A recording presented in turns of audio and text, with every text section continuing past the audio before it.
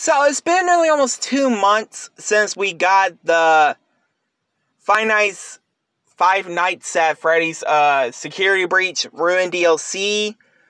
Um so y'all ain't gonna believe this. So um you play this char you play in this DLC you play a girl named Cassie who I think thinks she's friends with um Gregory. But besides the point, um, yeah, so y'all ain't gonna believe this, and I know y'all are not gonna believe me. So y'all know the the game had like a few Easter eggs, like the the Flappy Bird Easter egg,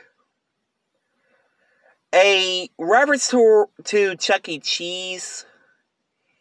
And this one, where Cassie says she was almost a Cassie sandwich, which is a reference to Jill Sandwich from Resident Evil. If y'all don't believe me, y'all can like watch a video of it or look it up online because I found this out like two days ago. But um, Anyway, guys, hope you guys like, comment, subscribe.